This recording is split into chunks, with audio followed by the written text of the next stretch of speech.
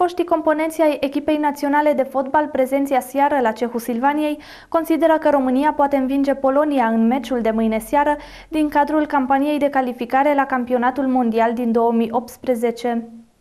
Seară de neuitat la Cehu Silvaniei. Deputatul PNL Sălaj Lucian Bode a dus aseară la Cehu Silvaniei o parte dintre foștii componenți ai echipei naționale, jucătorii care au scris istorie an la rândul în fotbalul românesc, dar și peste hotare. Miodrag Belodediș, Dănuț Lupu, Florentin Petre, Mihail Majaru și Ionel Gania le-au oferit locuitorilor din Cehu Silvaniei un spectacol fotbalistic pe cinste, afirmând că vor reveni în Sălaj ori de câte ori vor avea ocazia, fiindcă se simt foarte bine în această zonă a țării.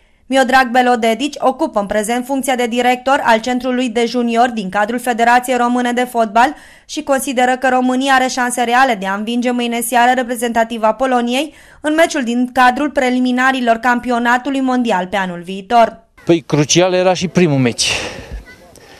Era foarte crucial primul meci să-l câștigăm și nu l-am câștigat. Am făcut un egal, dar am intrat într-o zonă periculoasă. Acum, da, este un meci crucial, ar fi foarte bine să câștigăm meciuri.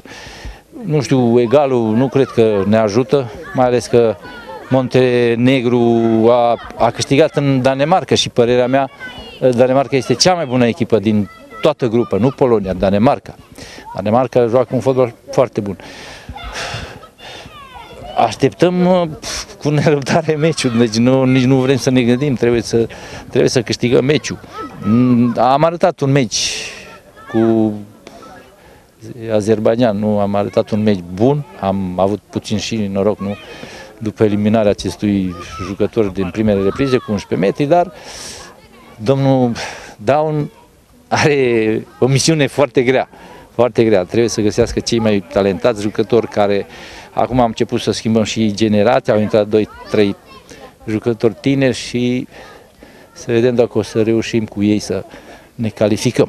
La fel de optimist sunt și ceilalți foști componenți ai echipei naționale prezenți aseară la Cehul Silvaniei. Da, este adevărat. Eu cred că uh, jucătorii care sunt în momentul de față la echipa națională își doresc foarte mult ca să obțină această calificare și eu uh, am mare încredere în uh, ei că vineri o să câștige meciul. Trebuie să ne conformăm cu tot ceea ce avem. Sunt niște jucători de calitate, jucători buni, jucători care pot să facă uh, o performanță extraordinară, uh, mai ales că avem acest meci cu Polonia, care, din punctul meu de vedere, cred că este decisiv pentru calificarea la, la Cupa Mondială.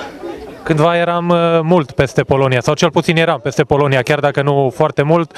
Astăzi lucrurile s-au schimbat. Cum crezi că vor arăta tricolorii vineri în teren? Îmi doresc în toată inima să facă un rezultat bun, pentru că avem nevoie de o victorie ca Daer. Noi avem nevoie să mergem la Cupa Mondială, pentru că uh, fotbalul românesc are nevoie de continuitate. În momentul când va, vom avea continuitate, atunci vom avea și performanță extraordinară și, bineînțeles, fotbalul românesc va, va avea o imagine frumoasă în, în lume, și în, în Europa și în lume, bineînțeles. Meciul dintre România și Polonia este programa mâine începând cu ora 21.45 și se va desfășura pe Național Arena.